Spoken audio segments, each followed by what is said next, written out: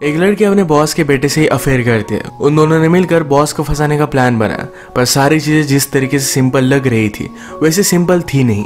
इसके पीछे बहुत सारे राज दफन थे। हेलो फ्रेंड्स आज मैं आपको स्पाइडर्स वेब ये 2002 की एक थ्रिलर हॉलीवुड मूवी एक्सप्लेन करने वाला हूँ। अगर आपको वीडियो अच्छा लगता है तो प्लीज़ इसे लाइक और कमेंट ज़रूर कर दीजिएगा। इसके ट्विस्ट के लिए इस वीडियो को अंत तक ज़रूर देखिए। बिना किसी देरी के एक्सप्लेनेशन स्टार्ट करते हैं। मूवी स्टार्ट होती है और हम हमारी मेन कैरेक्टर लॉरेन को देख सकते हैं। एक बड़ी सी कंपनी में एनालिस्ट थे।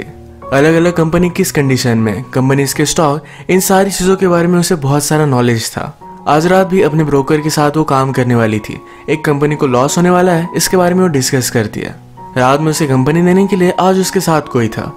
उसके साथ वो इंटीमेट हो जाती है। पर सुबह होते उसे उसने घर से निकाल दिया, क्योंकि उसे काम पर जाना था। काम पर जाने से पहले लॉरेन मैनी से मिली। मैंने उसके फादर के फ्रेंड थे। वो पहले पुलिस में थे, पर करप्शन की वजह से उन्हें निकाल दिया है। पर आजकल वो डायरेक्ट टू का वर्क करते हैं। लॉरेन ने उन्हें कुछ लोगों का पीछा करने का काम दिया था। एक्चुअल में लॉरेन की कंपनी जिस कंपनी के साथ आज डील करने वाली है, उन्हीं पर लॉरेन नज़र रख रही थी। इस मीटिंग में लॉरेन ने अपने बॉस के सामने एक प्रपोजल रखा, जो करना उसे अलाउड नहीं था। एक स्पेसिफिक कंपनी के बारे में बात करते हुए वो कहती है, आपको जल्द से जल्द उस कंपनी से बहुत सारे पैसे निकाल लेने चाहिए। इस बात पर उसके बॉस सिर्फ़ उसका मज़ाक उड़ाते उन्हें लग रहा था कि बहुत ही घटिया एडवाइस है। बॉस के जाने के बाद लॉरेन का मैनेजर उससे बात करता है। कहता है, तुम्हें प्रपोजल देने के लिए किसने कहा था? उसने गुस्से में उसे फायर कर दिया। लॉरेन का डे खराब था तो डायरेक्टली रात में बार में आई। उसे एक आदमी अप्रोच कर रहा था। वो पहले तो उसे उतना ज़्यादा भाव नहीं देती, पर लॉरेन ने बॉस के बेटे को मीटिंग में देखा हुआ था। वही बेटा आज बार में किसी और के साथ आया हुआ है। लॉरेन को जरा अकेला लगता है तो इस वजह से उससे वो बात करने लग गए। उस आदमी ने लॉरेन के लिए ड्रिंक्स बाय किए, पर जब लॉरेन वॉशरूम जाती है तो उसके ड्रिंक में कुछ मिला देता है। ये बेहोशी का ड्रग था। लॉरेन की तबीयत बहुत ही खराब हो गई वो आदमी उसे अपनी गाड़ी के पास लेकर जाता है और ज़बरदस्ती उसके साथ इंटीमेट होने वाला था। पर तभी बॉस का बेटा वहाँ पहुँच गया। इसका नाम है क्ले क्ले ने उस आदमी को बहुत मारा और लॉरेन को उसके घर पर सेफली वो पहुँचा देता है। लॉरेन का ख्याल रखने के लिए वो रात भर उसके साथ ही रुका। लॉरेन को जब होश आया तो पूछती है, तुम यहाँ क्या कर रहे हो?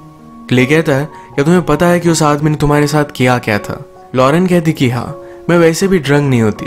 लॉरेन ने क्ले को उसके लिए कोक लाने के लिए कहा। लॉरेन कहती है, क्या तुम मेरा पीछा कर रहे हो? हर जगह पर मैं तुम्हें देख रही हूँ। क्ले को इस पर गुस्सा आता है। उसने उसकी हेल्प की थी। वो कहता है, तुम्हें मुझे थैंक यू कहना चाहिए था। वो गुस्से में यहाँ से जा रहा था, पर लॉरेन ने उसे रोक लिया। वो पूछती कि तुम रात में घर क्यों नहीं गए? वो कहता है, मैं तुम्हारा ख्याल रखना चाहता था। अगर मेरी जगह कोई और होता तो यही करता। कल की मीटिंग में लॉरेन और क्ले ये दोनों एक दूसरे से बहुत अट्रैक्टेड थे। लॉरेन उसके पास आती है और फिर ये दोनों इंटीमेट हो जाते हैं। लॉरेन उसे पूछती कि कल रात तुम किसके साथ थे? क्ले ने कहा कि वो सिर्फ़ मेरी फ्रेंड थी। ये दोनों इंटीमेट हुए और फिर लॉरेन को कॉल आता है। जैसा उसे लगा था कि कंपनी डूबने वाली है, वैसा ही हुआ है। उसे बॉस ने अपने ऑफ़िस में बुलाया। लॉरेन ने जो कहा था वो सही था और उसका मैनेजर गलत। इस बात पर बॉस गुस्सा होकर मैनेजर को फायर कर देता है।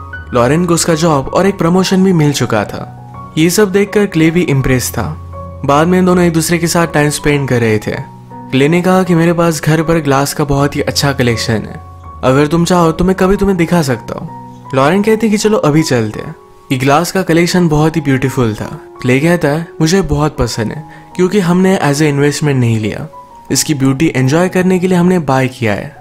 लॉरेन यही पर क्ले को किस करने लगती है? क्ले ने कहा मेरे फादर कभी भी आ सकते हैं, पर फिर भी वो नहीं मानी। ये दोनों फिर यही पर इंटीमेट हो गए।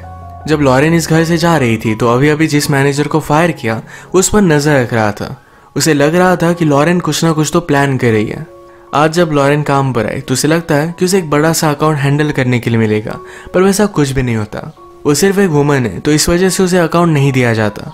इस बात पर वो बहुत ज़्यादा गुस्सा हो गई थी। अब इसके बाद थोड़े दिन गुजर चुके। लॉरेन और क्ले की रिलेशनशिप जरा आगे बढ़ चुकी थी। क्ले लॉरेन को जिस तरीके से देख रहा था, ये देखकर लॉरेन कहती है जो तुम्हें कहना है, ये प्लीज़ मत कहो। क्ले उसे आई लव यू बोलने वाला था। लॉरेन कहती है, मेरी पहले भी शादी हुई थी। वो मुझे छोड़कर चला गया। वो फिर से हर्ट नहीं होना चाहती। क्ले लॉरेन को एक बहुत ही कीमती ग्लास का शोकेस गिफ्ट देता है। वो कहता है, मेरे फादर सिर्फ़ इसे एज एसेट देखते हैं, पर मैं इसमें ब्यूटी देखता हूँ। लॉरेन उसके लिए बहुत इंपॉर्टेंट है। उसने कहा कि मेरे फादर ने एक नई ब्रांच ओपन की है। वहाँ पर मुझे अच्छा सा जॉब मिल सकता है। अब जब तुम मेरे साथ हो तो मेरे फ्यूचर के बारे में मैं सोच रहा हूँ। मैं तुम्हें छोड़कर कहीं भी नहीं जाना चाहता। अगर तुम मेरा साथ दो तो मेरे फादर के सारे पैसे मेरे हो सकते हैं। इस सब के बारे में लॉरेन ने सोच लिया। अगले दिन लॉरेन की एक मीटिंग होती है, जिसमें उसकी कंपनी एक बहुत बड़ी डील करने वाली थी। इसके बारे में लॉरेन ने सोचा और क्ले से वो बात करती है। कहती है अगर तुम चाहो तो सारे पैसे हमारे हो सकते हैं। क्ले कहता है कि मैं सिर्फ़ मज़ाक कर रहा था। अब भी मेरे पास पैसे हैं। हम अगर जाए तो कहीं भी जा सकते हैं। लॉरेन ने कहा कि पैसे ना होना, ये क्या होता है मुझे पता है। वो फिर से गरीब नहीं बनना चाहती। इस वजह से ये वैसे उसके लिए बहुत ही इंपॉर्टेंट थे। वो फिर क्ले के फादर से पैसे किस तरीके से चुराने हैं, इसका वो प्लान बनाती है। उसने जाकर मैनी को हायर किया। मैंने उसके लिए वरीड था कि वो कुछ भी गलत ना करे। लॉरेन कहती है ये फुल प्रूफ प्लान है। इसमें कोई भी गलती नहीं हो सकती। ये प्लान समझाते हुए लॉरेन ने कहा कि तुम्हारी कंपनी एक बड़ी कंपनी को बाय करने वाली है। ये बाय करते वक्त इस डील पर मैं ही नज़र रखने वाली हूँ। जब हमारी कंपनी पैसे ट्रांसफ़र करने वाली होगी तो मैं बैंक का नेम चेंज कर दूँगी। अलग बैंक में सारे पैसे चले जाएँगे, जहाँ पर हमारा अकाउंट होगा। इतने सारे पैसे चुराने के बाद इन्हें एक नई आइडेंटिटी लगेगी। तो यही बनवाने के लिए एक लड़की के पास हो गए, जो हैकर थी और ये आइडेंटिटी वगैरह बदल सकती थी। इसके लिए उसने बहुत सारे पैसे लिए, पर फिर भी लॉरेन इसके लिए मान जाती है। नेक्स्ट सीन में हम देखते हैं कि लॉरेन के घर में एक्स मैनेजर आया हुआ था। लॉरेन के घर से उसके सारे फिंगरप्रिंट्स वगैरह लेता है। लॉरेन अपने ब्रोकर के पास गए। अपनी कंपनी के सामने की बिल्डिंग में वो फ्लैट हायर करती है।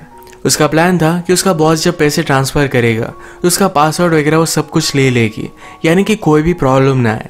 वो डील के सारे डॉक्यूमेंट्स बॉस के पास सबमिट करती है। बैंक में जाकर एक फेक अकाउंट भी उसने निकाल लिया। बॉस पर दूर से नज़र रखते हो उसके सारे पासवर्ड उन्होंने निकाल लिए और सारे पैसे वो ट्रांसफ़र कर लेते हैं। आज ये दोनों बहुत ही खुश थे तो डायरेक्टली इंटीमेट हो गए। प्रीवियस सीन में हमने देखा था कि जिस लड़के ने लॉरेन के लिए फेक आइडेंटिटी बनाई हुई थी, उसके पास एक्स मैनेजर गया। वो डायरेक्टली उसे मार देता है। मूवी के फ़र्स्ट में लॉरेन को एक आदमी ने ज़बरदस्ती की थी। उसी आदमी को एक्स मैनेजर क्ले के घर में लेकर आता है। वहाँ पर उसने उसे मार दिया। फिर गैस ऑन कर कर वहाँ से चला जाता है। जाते जाते उसने घर में ब्लास्ट कर दिया था। इससे अब सबको लगने वाला था कि क्ले की डेथ हो गई। एक्चुअल में एक्स मैनेजर क्ले के लिए काम कर रहा था। सारे काम हो जाने के बाद ये उसके पास आया, पर क्ले उसे ही मार डालता है। रात में जब मैनी अकेला था तो उसके पास भी क्ले गया। उसका भी उसने मर्डर कर दिया। सारे पैसे हमेशा से क्ले अपने लिए पाना चाहता था। उसने लॉरेन के साथ जो भी किया, ये मैनेजर के साथ मिलकर पहले से उसका सारा प्लान था। लॉरेन रात में अपनी फेक आइडेंटिटी लेने के लिए गई, पर वहाँ पर उस लड़की का मर्डर पाती है उसे फिर पुलिस का कॉल आया कि मैनी की डेथ हो चुकी है।